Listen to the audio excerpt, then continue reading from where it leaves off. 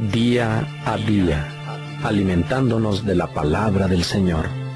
En la voz de Monseñor Enrique Díaz, fortalezcamos nuestra fe. Seamos testigos de Jesús vivo y resucitado. Que con la alegría y la esperanza que nos da la palabra del Señor, hoy nos acerquemos hasta Él.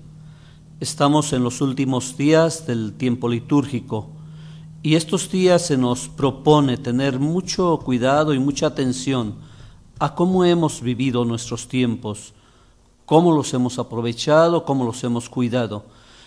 Este día la lectura está tomada del Evangelio según San Lucas, capítulo 21, versos del 29 al 33. En aquel tiempo Jesús propuso a sus discípulos esta comparación. Fíjense en la higuera y en los demás árboles. Cuando ven que empiezan a dar fruto, saben que ya está cerca el verano.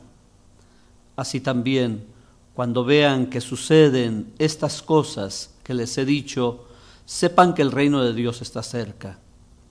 Yo les aseguro que antes que esta generación muera, todo esto se cumplirá. Podrán dejar de existir el cielo y la tierra, pero mis palabras no dejarán de cumplirse. Palabra del Señor.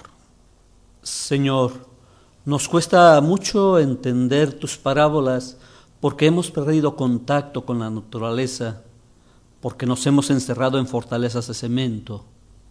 Ya muchos no sabemos cómo son los brotes de la higuera, no somos capaces de distinguir el periodo de la luna, nos hemos olvidado de las estaciones del año y pasamos indiferentes de una estación a otra.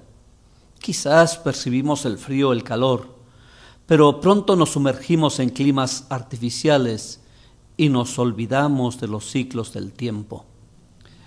Pero lo más triste es que hemos perdido el sentido de tu presencia.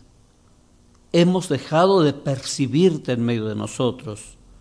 Nos hemos embotado llenos de trabajos, preocupaciones y prisas. Nos hemos protegido tanto que nos quedamos encerrados en nuestras protecciones que llegan a convertirse en verdaderas cárceles.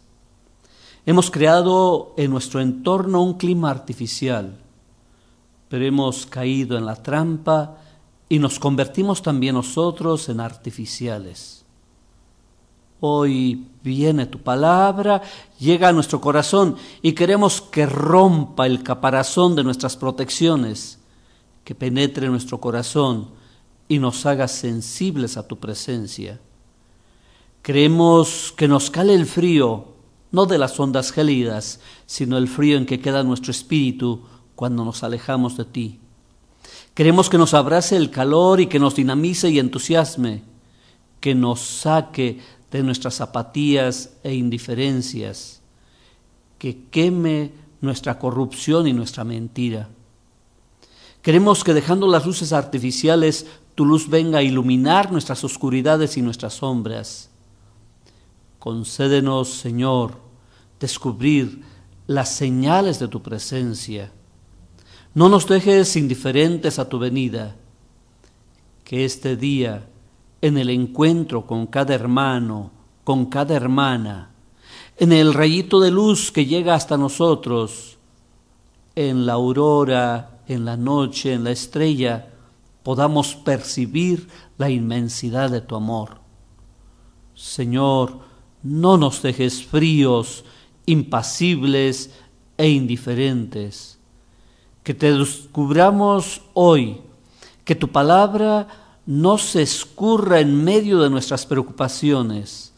No puede pasar tu palabra sin dejar sus semillas de esperanza y de fe. Señor, que no nos encerremos y nos neguemos a escuchar tu palabra, que penetre a lo profundo de nuestro corazón.